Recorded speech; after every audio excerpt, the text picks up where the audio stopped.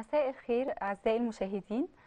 النهاردة أهلا وأهلا بكم في برنامج أستاذ في الطب.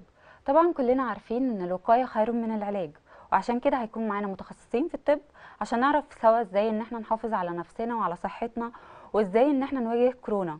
وموضوع حلقتنا النهارده مرضى مرضى القلب في زمن الكورونا وهيكون منورنا الأستاذ الدكتور أحمد البربري استشاري استشاري أمراض القلب. أهلا بحضرتك يا دكتور. أهلا بيكي واهلا بالسادة المشاهدين اللي بيشوفونا في كل مكان. أهلا بحضرتك. آه، عايزين حضرتك تكلمنا عن العادات الخاطئه اللي بتضر صح بصحة القلب. هو والله آه، من ضمن العادات الخاطئه اللي ممكن تضر بصحة القلب هي آه، يعني قلة ممارسة الرياضة. آه، الرياضة بتبقى شيء مهم جدا آه، للحفاظ على الجسم كله وخاصة القلب والأوعية الدموية. بقى بيقلل خطورة الاحتمال الإصابة بالسكتات القلبية أو بالذبحة أو بالجلطات أو كده. آه، رقم اتنين برضو من ضمن العادات الغلط هي العادات الغذائية. يعني في حاجات كتير في التغذية أو في العادات ال- ال- الغذائية الخاطئة بتضر القلب زي آه، أكل الكوليسترول أو المواد الغ- الغذائية ال- الغنية بالكوليسترول كتير. آه، آه، ملح الطعام آه، بكثرة بيضر القلب وبيرفع ضغط الدم. طبعا الكوليسترول وأكل الأكل اللي هو زي السمن الصناعي اللي هو الزيوت المهدرجة آه، ده آه، بي- بيستسبب أو عامل رئيسي في حدوث آه، الذبحة والجلطات وتصلب الشرايين.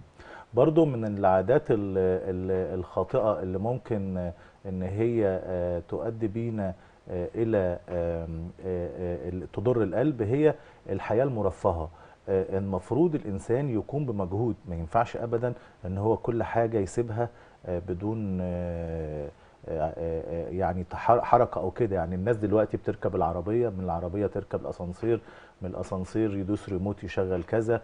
ما عادش فيه حركة وده شيء غير صحي اطلاقا. يعني ده بيؤثر بالسلب على الجسم كله وخاصة القلب. آه، فده طبعا ده ممكن كله نتجنبه. ممكن وطبعا من ضمن العادات ال- ال- الخاطئة تماما هو إن ال teenage اللي هم الأطفال أو السن المراهقة أو الشباب بيحبوا دايما ياكلوا اللي هو آه، الأكل اللي بره البيت اللي هو ال fast food وكده ودي ممتلئة جدا بالكوليسترول ودي آه، منتشرة جدا وبتزداد انتشارا المحلات بتزيد أكتر والشباب بيتجه أكتر ليها وبيحط عليها زي مكسبات طعم أو كده عشان تجذبهم أكتر. آه، فدي كلها عادات آه، ممكن تجنبها.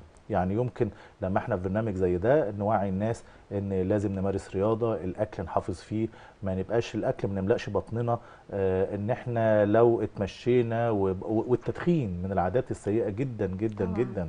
التدخين بيضر القلب آه، آه، يعني بم- بم- بما لا يدع مجالا للشك يعني مش محتمل قولان. يعني السجاير أو التدخين أو الشيشة أو كده بتضر القلب. أيوه بتضر القلب. وبتعمل بتزود تصلب الشرايين بتزود حدوث الجلطات. آه، آه، وبتأثر على بقية الجسم. بس إحنا دلوقتي بنتكلم على القلب. فبعض الناس برضو من العادات ال- الخاطئة اللي ممكن تضر القلب إن بعض الناس مش بيحب آه، يلتزم بالعلاج أو بالنصائح الطبية. يعني نقعد نتكلم زي ما نتكلم. هو المريض في دماغه حاجة هو بينفذها. يعني ياما آه، الحقيقة ب- بيبقى في بعض الشيء من الجدل آه، أو إن المريض هنقول له يمشي على العلاج ده ويجي يلاقيه موقفه بمزاجه. طب أنت. وقفته ليه؟ يقول أصل زهقت. طب زهقت آه، معدتي وجعتني، ما انت عيان. قول لي قول لي قول لي آه. قول للدكتور فدي دي كلها اسمها عادات. يعني واسمها كونسبت مفاهيم. المريض متخيل إن هو هيخلص علبة واحدة من دواء الضغط يبقى خف الحمد لله. هيخلص علبة واحدة من مثلا آه، ال- آه، الاسبرين بتاع الذبحه يبقى كده خف. لا فدي كلها بنحاول إحنا نغير المفاهيم دي في البرامج التوعوية آه، الطبية اللي المفروض بتيجي في الميديا وكده. تمام. طيب في الظروف الحالية لجائحة كورونا وزيادة أعداد المصابين عايزين نعرف التوصية والتعليمات اللي حضرتك بتوصي بيها مرضى القلب واللي مناعتهم ضعيفة لتجنب الإصابة بالفيروس. آه، هو الحقيقة آه، جائحة كورونا دي حاجة يعني حدث جلل. آه، أول مرة نشوفه آه، آه، في حياتنا أو أنا شخصيا وهو يعني زي توقف التاريخ عنده. هيتوقف كثيرا وليس قليلا. إن مثلا حاجة زي الحج توقفت الصلاة في المساجد المساجد آه، حاجات كتير جدا جدا جدا المدارس ال- كده. الكورونا دلوقتي إحنا في ال- ال- ال- الموجة الثانية دي آه، على مستوى العالم هي أكبر وأكثر وأشد من الموجة الأولى.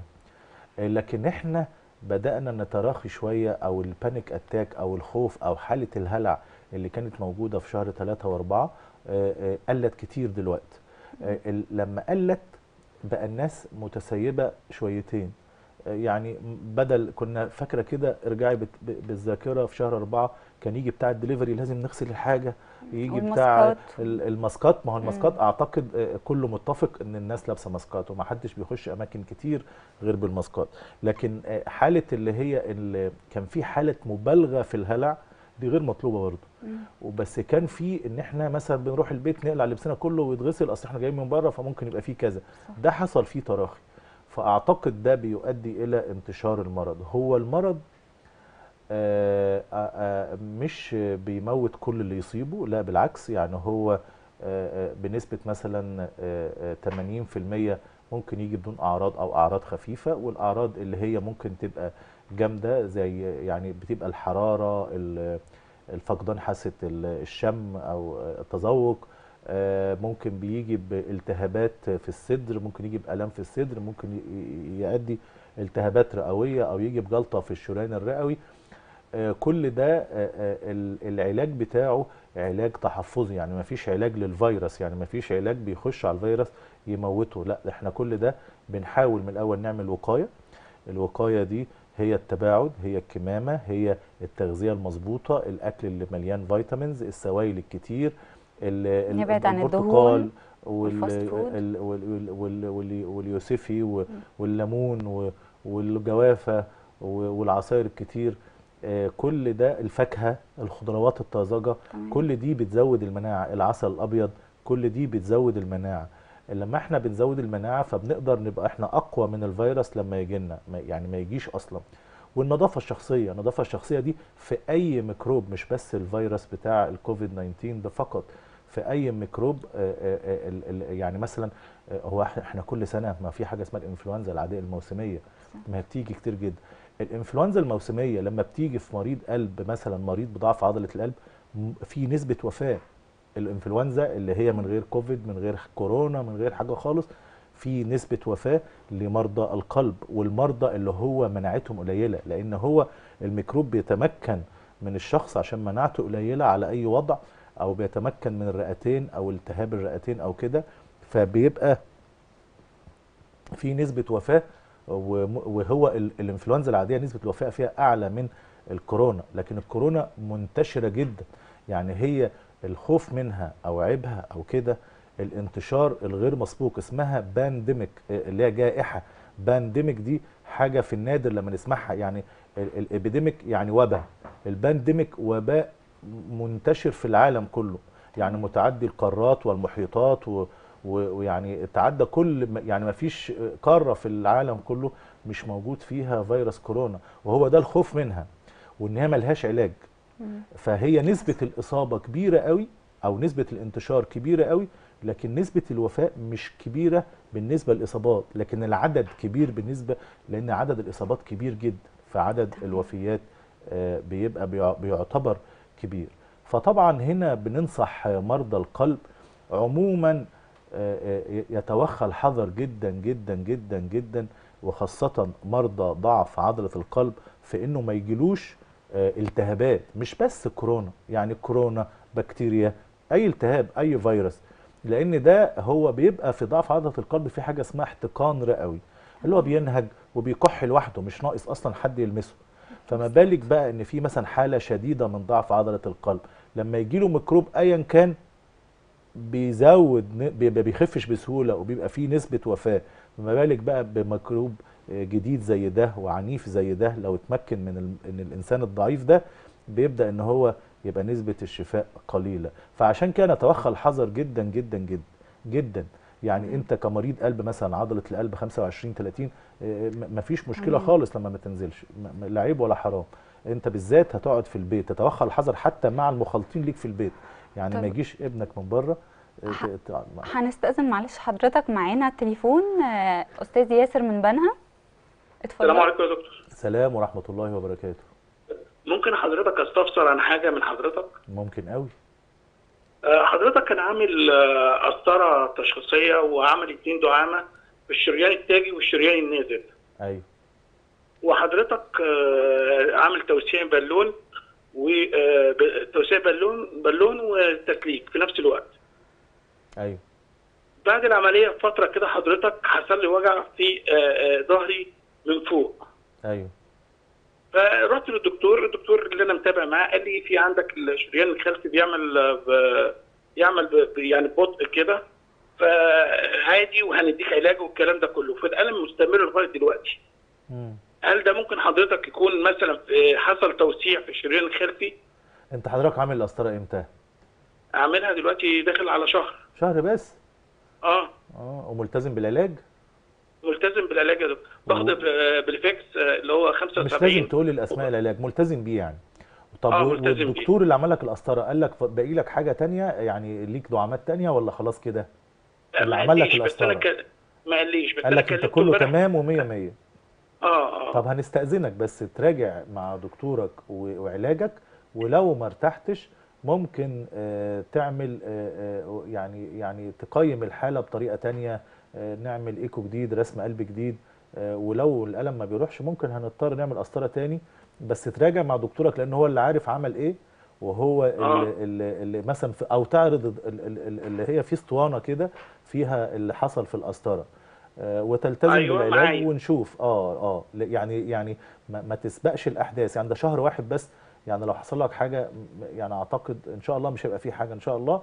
طب وال... وال... وحضرتك في حاجة بتحصل لي برضو معلش؟ هي نوع زي توهان كده بلاقي نفسي تهت كده مرة واحدة وفي نفس ما بيطلعش بسهولة تقل كده في النفس. أنت عندك كام سنة؟ أنا عندي 46 وخفقان في القلب يعني رفة كده. بتحصل لي زي رفة.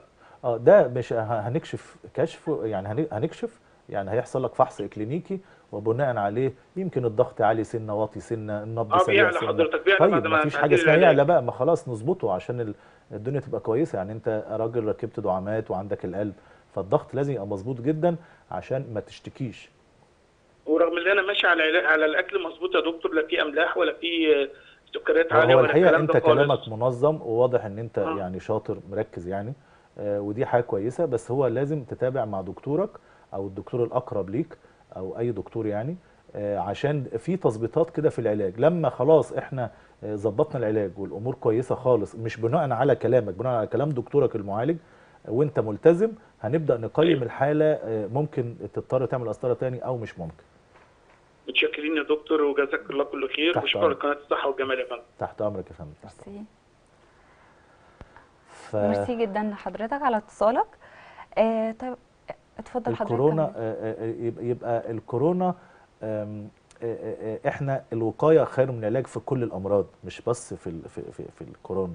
الكورونا أصلا إحنا ناس كتير جدا في الجو اللي إحنا فيه ده بيجي لها عطس بيجي لها عطس كنوع من أنواع كمان الحساسيه مش لازم عطس إن هو جاله common cold أو انفلونزا أو كده. آه، لكن هو وممكن إحنا في الجو ده بيس بيسهل حدوث الالتهاب البكتيري نتيجة البرد قوي.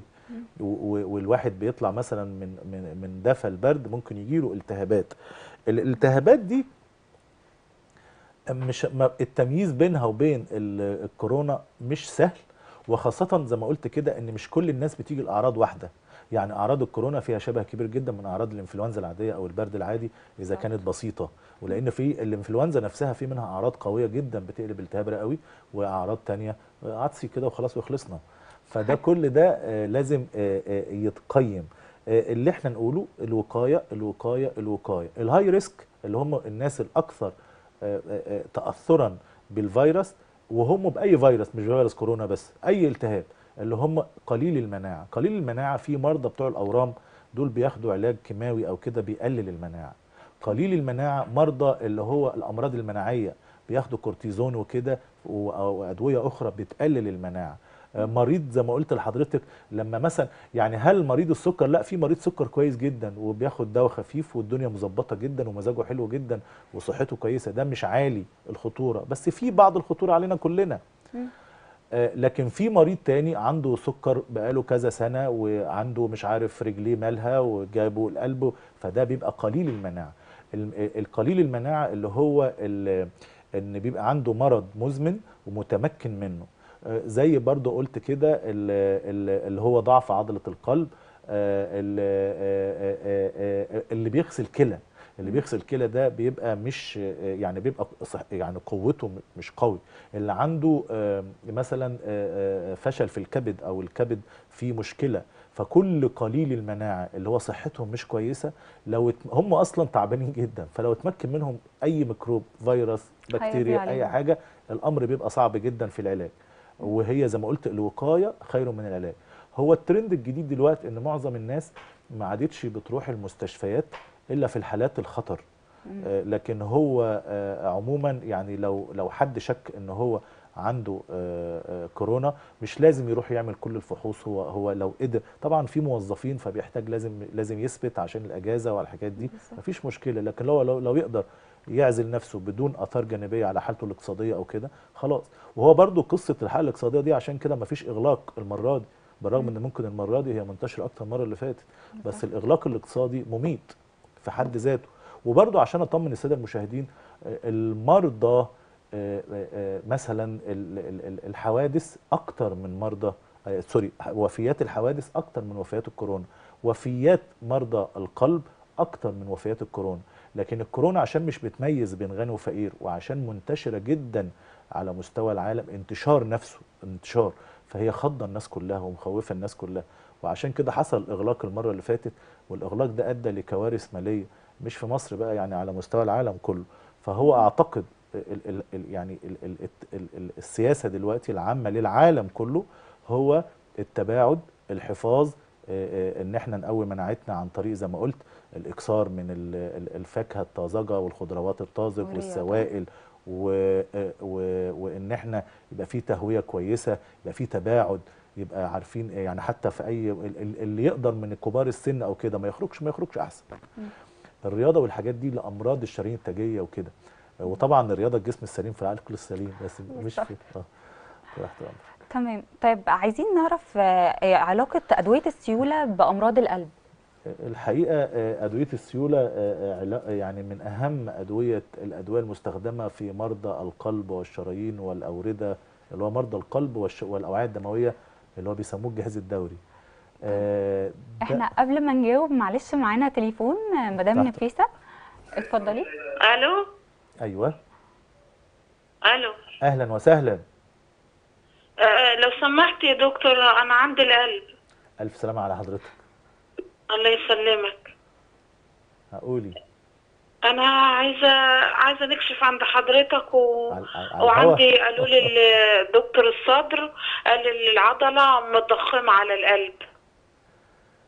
متضخمة على الرئة فمش واخدة نفس يا دكتور. ما ما بعرفش أنام ولا أقعد ولا أي حاجة. لا ألف سلامة على حضرتك. الله يسلمك. طب حضرتك ممكن تعملي موجات صوتية على القلب ورسم قلب؟ آه، معايا يا دكتور. يعني انت ماشي طب تحت أمرك. طب نجي لحضرتك إمتى في العيادة؟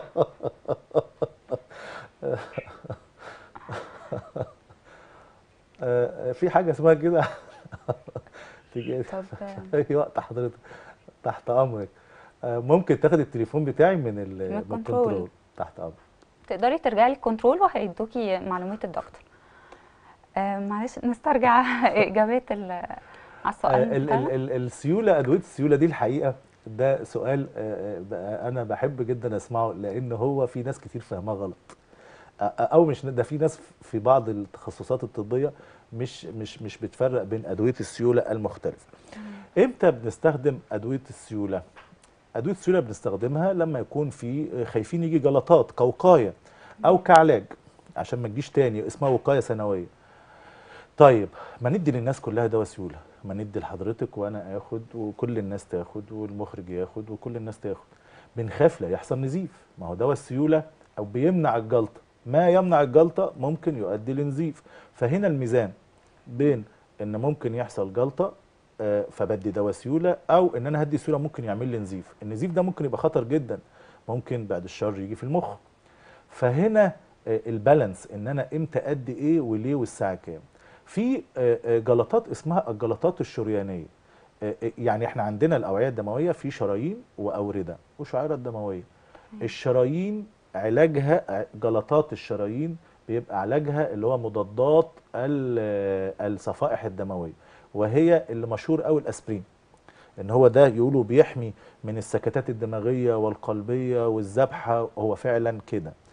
بس هل نديه كل الناس؟ لا نديه للناس اللي هو ما عادش في حاجة اسمها ال primary prevention primary prevention الوقاية الأولية. كان زمان كده يقول لك اللي فوق سن ال 40 لازم ياخد الأسبرين. آه، آه، آه، الكلام ده مش علمي. ليه؟ لأن لا وجدوا إن ممكن يحصل له آثار جانبية بدون داعي. يبقى مين اللي هياخد الأسبرين ده؟ اللي هو اللي جاله مثلا ذبحة. أو جاله مثلا آه، آه، في أي شرايين في في في الرجلين أو في مغير صمام مثلا. لا أيوه هنا بقى النقطة. الصمام ده بقى بياخد دواء اسمه مضاد للتجلط وليس مضاد للصفائح الدموية. وهنا ده مش أنا قلت لك دلوقتي إن الناس كتير بيشتبه عليها. بالظبط. هو كده بقى الاشتباه ده. بتاع الصمام ده بياخد دواء اسمه مضاد للتجلط اسمه وارفرين صوديوم اللي هو له اسماء تجارية متعددة. الوارفرين ده ده بتاع الصمام. ده مضاد للتجلط. الوارفرين ده ما يعالجش الذبحه ما يعالجش جلطة القلب. ال warfarin ده ما يعالجش جلطة القلب. لكن وال وال- والأسبرين ما يعالجش آه، أو ما يتاخدش في حالات صمام آه، الص- الصناعي بتاع القلب. آه، فهنا بقول لحضرتك السؤال كويس عشان كده لأن أنا بوضح للسادة المشاهدين إن في فرق بين الأسبرين وإخواته. إخواته دول اللي هو اسمائهم العلمية ticagrelor و clopidogrel آه، دول بيستخدموا في حالات الدعامات حالات جلطة القلب حالات جلطة المخ حالات ال- جلطة الساق جلطة الرجلين الشرايين الشرايين.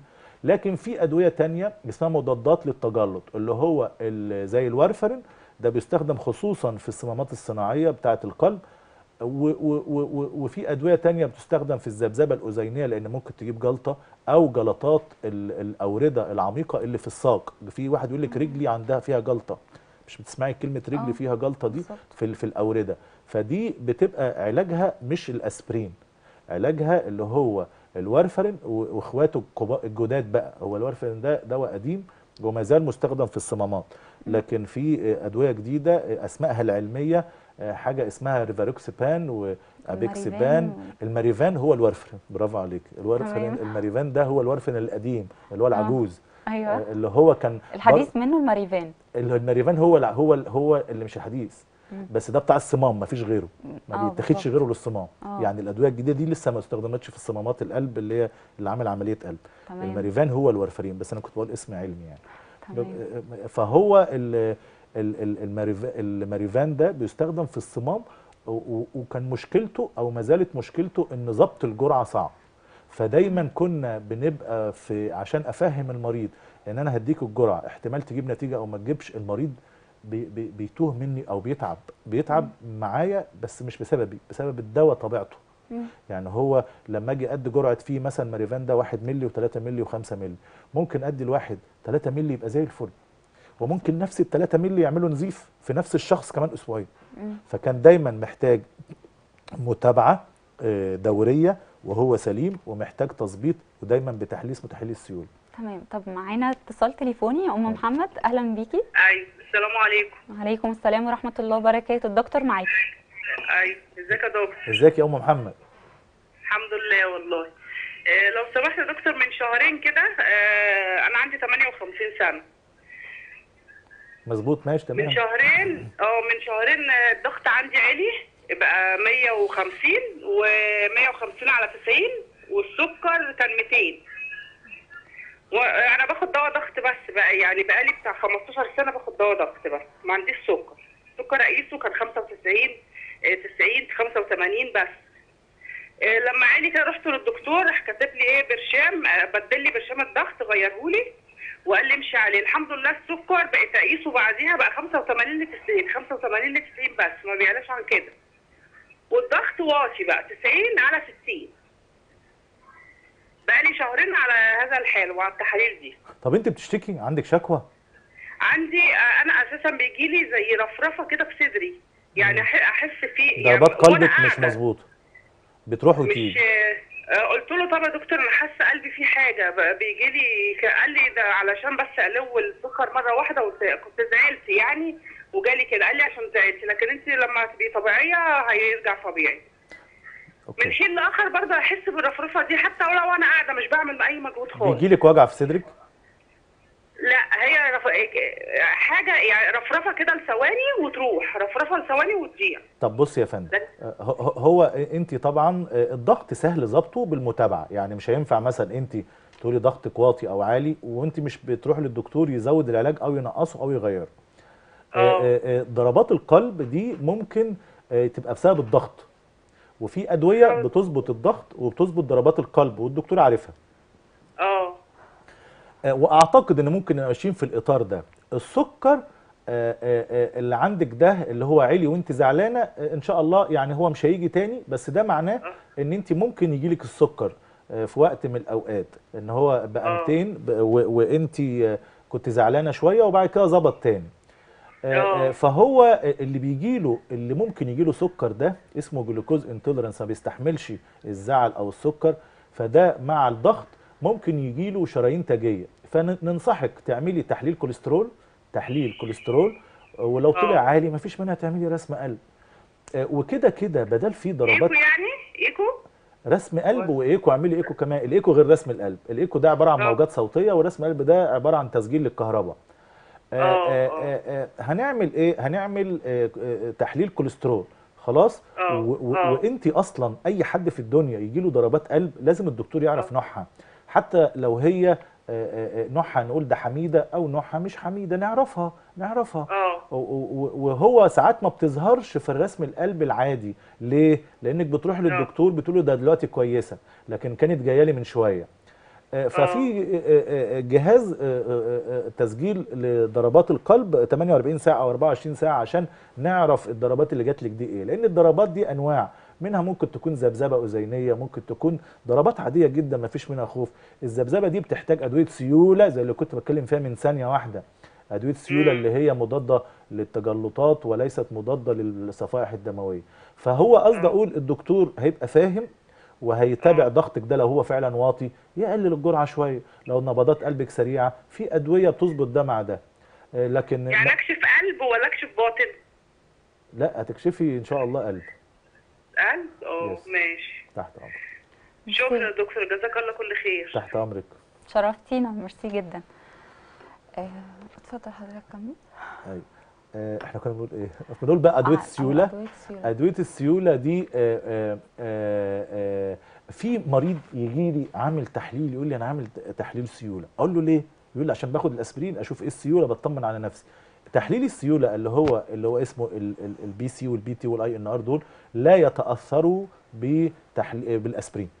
تمام. فده برضو بقولها للعيانين لأن ده أكيد أنا بدل بقول كده شفت كده كتير. العيان يجي بيطمن على نفسه يعني هو عمل تحليل سيولة لنفسه. ليه؟ عشان باخد أسبرين. تحليل السيولة اللي هو اسمه ال prothrombin concentration و time وال INR لا يتأثروا بتحليل بال بال بال باللي هو. بالأسبرين. لكن بيتأثروا بإيه؟ وواجب عملهم في إيه؟ في الماريفان. الماريفان. ده بقى بيطلع عينينا في البي آي إن آر على طول. آي إن آر ده متعب جدا ولا ده طبعاً. عالي لا ده وطي لا ده جالي كدمات في جسمي لا ده ده ك... ال... ال... ال... ال... الأسبرين ممكن يعمل كدمات وممكن يعمل نزيف بس بس هو مش بيحتاج له تحليل السيولة لكن عشان مريفان فلازم الماريفان ده. بقى يعني بقول لحضرتك آه، هو محتاج آه، المريض يبقى آه، عنده قدر من الثقافة والطبيب عنده قدر من الوقت والمج... وال... وال... والبال الطويل إنه يفهم المريض إن الماريفان ده ما تزعلش منه لو التحليل عالي شوية التحليل وطي شوية لأن هو لو سيبناه كده ممكن بيعمل بعد الشر حاجات مش كويسة. تمام. طب معانا تليفون؟ أستاذة أسماء أهلا بيكي. مساء الخير. مساء النور. الدكتور معاكي. مساء الخير يا دكتور. إزيك يا أستاذة أسماء؟ أستاذة أسماء؟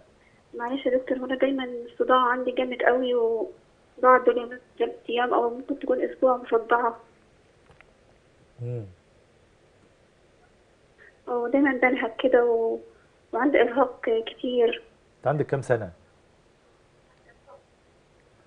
ممكن توطي صوت التلفزيون؟ 23 23 دي صغيرة قوي يا أستاذة أسماء. عندي 23 سنة. أيوه. آه، آه، الشكوى بتاعك صداع؟ آه صداع. آه آه، طيب. بصي هو الصداع ده له أسباب متعددة. بالنسبة لي أنا كاستشاري قلب ممكن يبقى ارتفاع ضغط الدم بيعمل صداع. وممكن لو ضغط الدم واطي شويتين يعمل صداع. فأنا بقيس الضغط وبعرف بناء عليه هل السبب في الصداع ده ضغط ولا لأ. لو مش ضغط في أسباب كتير قوي للصداع منها آه، الجيوب الأنفية منها النظر منها ال- ال- الودان منها السنان منها آه، المخ منها آه، اللي هو الصداع النصفي. لكن في الآخر يعني إحنا ب- ب- ب- في الأول كده بنعتقد إن الأمر سهل هنقيس الضغط نلاقي الضغط ما فيش فيه مشاكل فممكن نعتبر إن في شوية برد شوية حاجة ممكن ناخد أي حاجة من اللي هي ال- ال- ال- ال- ال- ال- ال- اللي في البيت بتبقى مسكنة ونشوف. لو ما لو ما خفناش بسهولة يعني في خلال ساعة نص ساعة ممكن بنتجه لدكتور لو هو ال- الضغط كويس بنتجه لدكتور وفي صداع. أشوف سناني يعني سناني لو تعبانة بس أنا يعني أكيد أنا ببقى عارف سناني بتوجعني ولا لأ وداني بتوجعني ولا لأ لو ما فيش الحاجات دي بتجه لدكتور مخ وأعصاب. ألف سلامة عليكي يا أستاذ أسماء. ومعانا تليفون تاني أم محمد أهلا بيكي. أم محمد number 2 أيوه. أم محمد سامعانا؟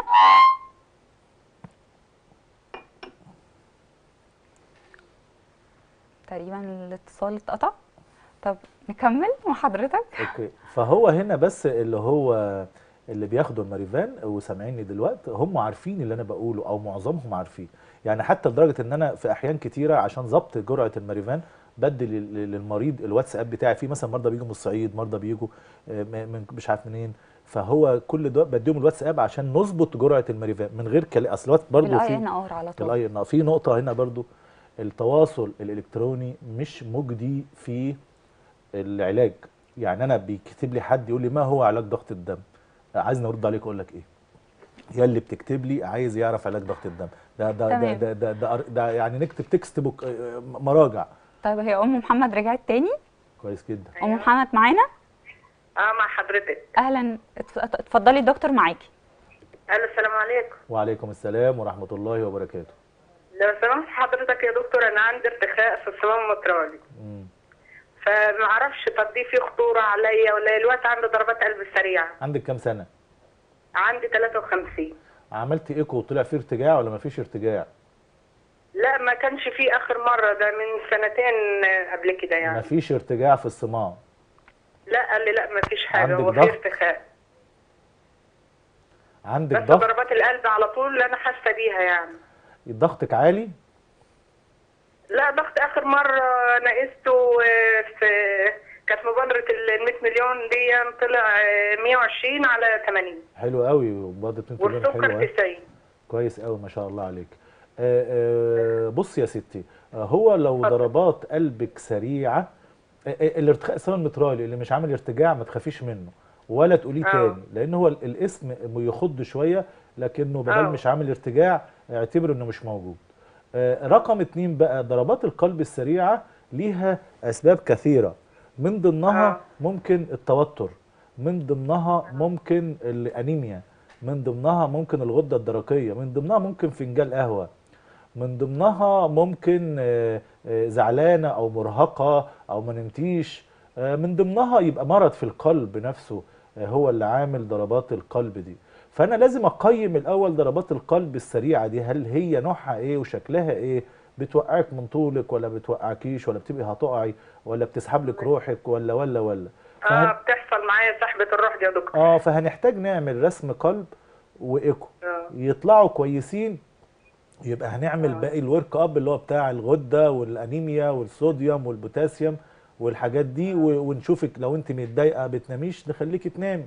يطلعوا كويسين ممكن بقى نعمل حاجة اسمها الدراسات الكهروفسيولوجية. بس ما نسبقش الأحداث نعمل أول حاجة رسم قلب وإيكو وصورة دم وتبقي كويسة إن شاء الله. ربنا تماما. آه أنت عاملة إيكو أصلا بيقول إن في ارتخاء. آه، آه، يعني اطمئني في. من قصة الارتخاء دي. ما ما ت- ما تقلقكيش. آه. تحت أمرك. شكرا ربنا يخليك يا دكتور. تحت أمرك. شكرا أم محمد.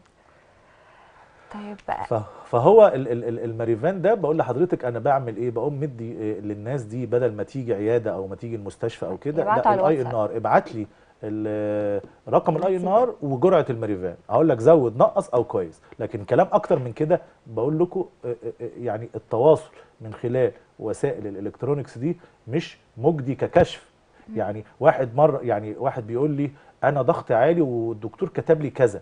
كويس ولا وحش؟ والله العظيم معه ما هو ده بيتبنى على إيه؟ على استجابتك للضغط وعلى النبض وعلى حالتك العامة وعلى هل عندك ذبحة عندك آه، حساسية على صدرك عضلة القلب ضعيفة عندك حاجة في المخ كل ده لكن يقول لك الدكتور مستخسر يرد عليا. والله يا سيدي أنا مش مستخسر والله والله. بس في حاجات بتجوز ولازم. أنت كل الناس اللي سامعاني تعرف كده. في حاجات بينفع يعني زي ما بقول واحد بيقول لي ما هو علاج ضغط الدم؟ أكنه جاب سؤال مهم جدا.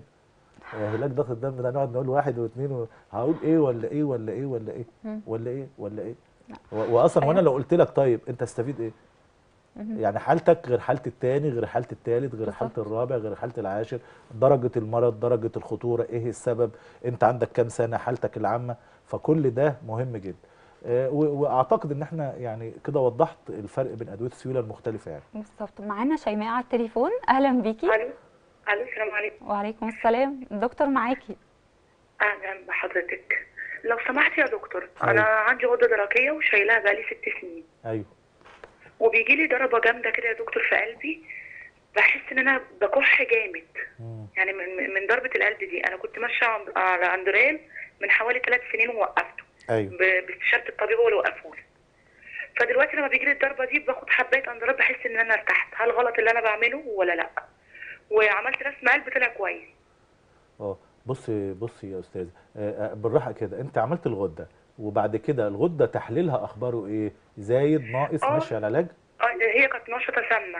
وبعد ما عملت الغدة بتتظبط شوية وترجع تاني. وبتاخدي علاج ولا بتاخديش؟ آه باخد باخد 125 آه آه. صباح. طيب ده بقى عظيم. ده محتاج متابعة. متابعة يعني لازم الرقم ده. متابعة والله يا دكتور آه، آه، الرقم آه، اللي هو ال- ال- ال- ال- الغدة اللي هو ال T ال free T3 و T4 دول لازم يبقوا مظبوطين لأن هو فعلا بيأثروا على ضربات القلب. هم فعلا إيه؟ بيأثروا على ضربات القلب. يعني الغدة الزيادة اللي هو الغدة الدرقية افرازها الزايد اللي هو السمي ده بيزود ضربات القلب. خلاص؟ أنا أنا فاهمة يا دكتور بس أنا ساعات بتبقى الغدة مظبوطة وبيبقى جاي من عند الدكتور ونفس ضربة القلب دي تجيلي ماشي وأنا أقول لك لسه أهو. آه، بالنسبة لقرص الاندرال اللي بتاخديه عند اللزوم ده آه، هو أكيد حاجة مش مش علمية يعني يعني ما ما فيش حاجة اسمها كده. يعني 10 مللي دي تاخد عند اللزوم ده مفيش الكلام ده. آه، فممكن أنت يعني بترتاحي كده تاخدي الدواء وبتاع. أنت عندك كام سنه يا أستاذة؟ أنا عندي دلوقتي 30 أنت صغيرة. طيب بصي هتعملي إيه كمان؟ هنعمل بقى الضربة دي مش هنخسر حاجة لما نعمل رسم قلب أشوفها وأشوف عددها هل هي بتقعد كتير ولا شوية صغيرين؟ هل هي ممكن كانت الأول بتبقى واحدة أو اتنين. ودلوقتي؟ دل... دلوقتي زادت. طب نعمل رسم قلب نشوف وممكن نبص بالإيكو نشوف هل في يعني آه، مرض عضوي في القلب ولا ما فيش. آه، والغدة لازم تتظبط الغدة لازم تتظبط الغدة لازم تتظبط. وبناء عليه لو ضغطك كويس وبيجي لك ضربات قلب آه، زايده سنه من الغده اللي بتلعب دي ممكن ناخد نص قرص حاجة اللي هي بيسموها مثبطات اسمها البيتا. دي زي الإندرال كده بس حاجات أجدد شوية وتاخديها بصفه آه، منتظمة. دكتور معلش؟ ما برضه أدوية يعني بس ده بناء على الفحص يا فندم.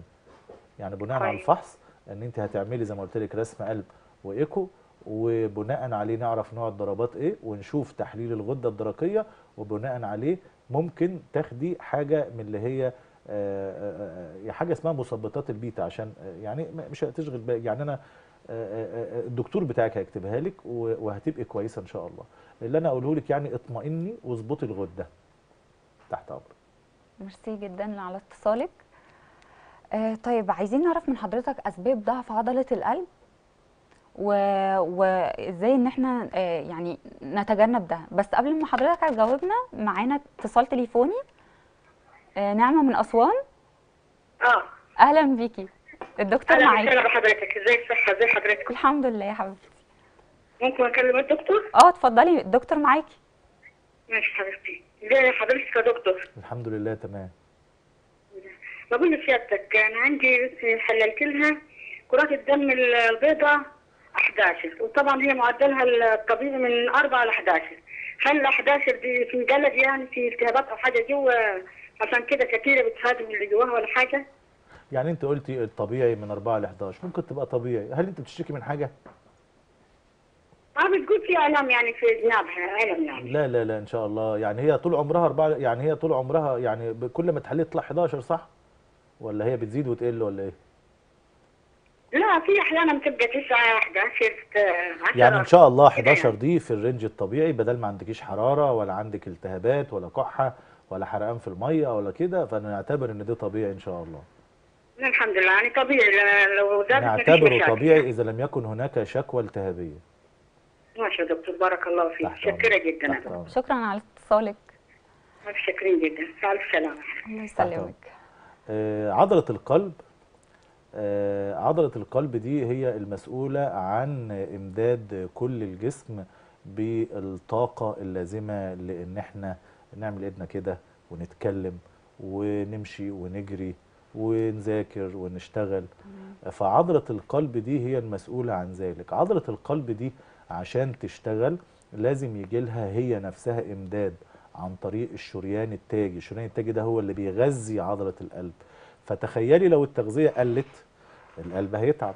آه، لو التغذية اتقطعت مرة واحدة لا هيتعب قوي. طيب القلب ده عشان يشتغل لازم له تكوين. التكوين ده العضلة نفسها عايزة في تليفون ولا حاجة؟ آه. حسيت بيكي فالعضلة أم نفسها- أحمد من الأقصر؟ ممكن.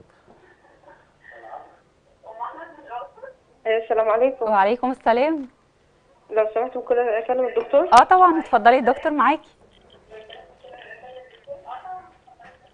اقفلي آه، بس صوت التلفزيون علشان تسمعي الدكتور كويس. حاضر. شكرا. لو سمحت يا دكتور أنا كنت عملت بعض التحاليل وطلعت عندي الغدة الدرقية كاملة و- والدكتور اداني آه، برشام اسمه انتروكسين. آه، قال لي تاخدي واحدة آه، قبل الفطار يوميا. وباخد أنا من آه، من من شهرين ونص تقريبا. ويعني ما بطلتش خالص. بس دلوقتي ألم شديد في في, في عظمي وفي ال- وفي رجلي يعني لدرجة إن أنا ما بقدرش أصلي. آه، هل ده ليه ارتباط بال- بالعلاج بتاع الغدة ولا ده ده حاجة تانية ولا مش عارفة يعني. ده بصي هو غالبا ده حاجة تانية. هي هي يعني أنا أنا أنا كاستشاري قلب علاقتي بالغدة إن هي الغدة دي لها علاقة وثيقة بالقلب ال- الغدة الدرقية.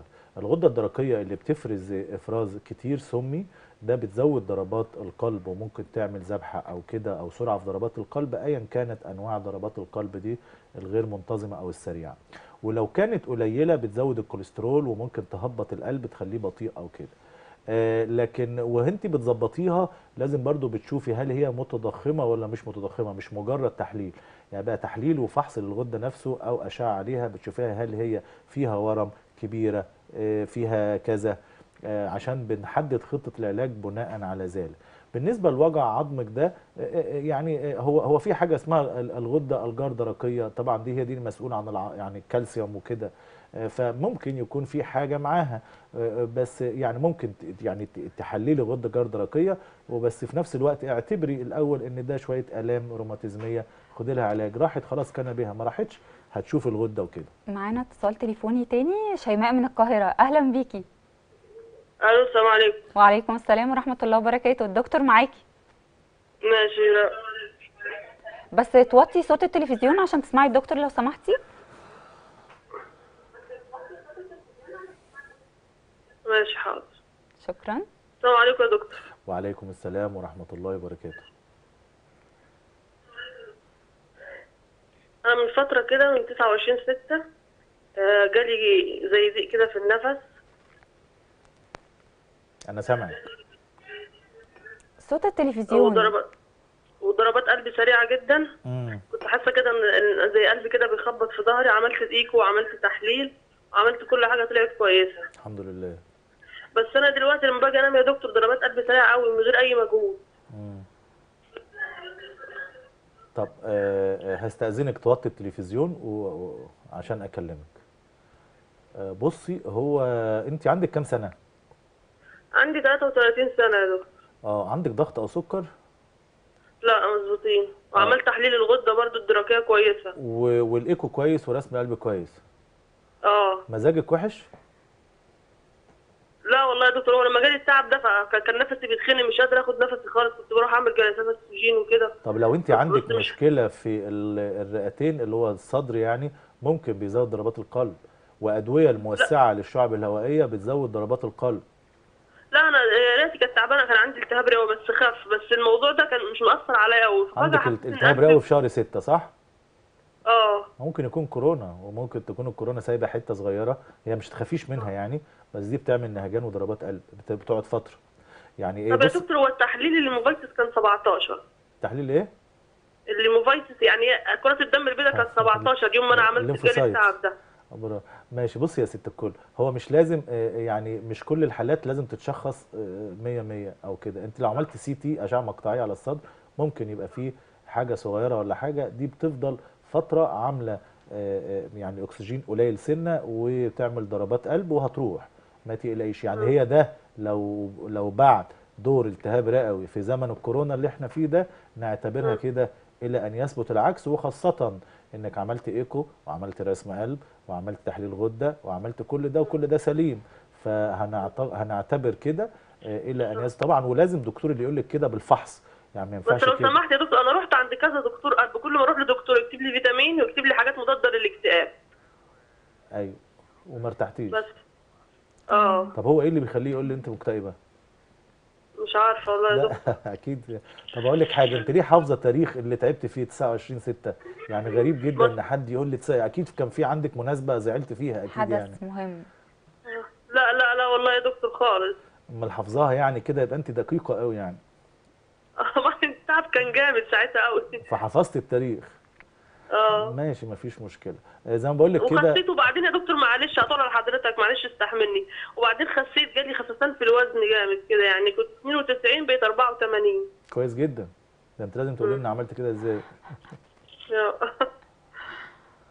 آه، يعني أنا زي ما قلت لحضرتك كده ثلاث دكاترة قالوا لك عندك اكتئاب آه، فأكيد يعني مش كلهم غلطانين. آه، لأن ساعات في الاكتئاب الناس بتديناي الناس بتنكر إن هي عندها اكتئاب. آه، فثلاث دكاترة أكيد يعني لو واحد غلط التاني مش هي- التاني هيغلط التالت مش هيغلط. آه، فهو ممكن انت بس تاخدي دواء كويس وهتبقي كويسة إن شاء الله. بنشكرك على اتصالك. وآخر سؤال معانا يا دكتور عايزين نعرف الطرق الحديثة اللي حضرتك بتعالج بيها مرضى القلب.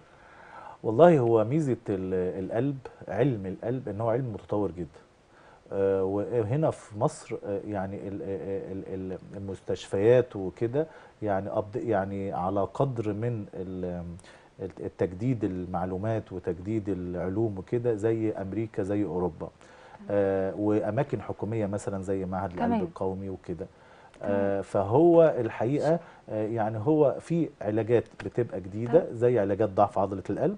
وفي علاجات تانية بتبقى زي مثلا اللي هو استبدال الصمام الأورطة من خلال القسطره ده ده حاجة جديدة برضو وكل يوم في جديد آه، تمام. خالص تحياتي بنشكر حضرتك جدا نورتنا واستنونا في حلقة جديدة وضيف جديد في برنامج أستاذ في الطب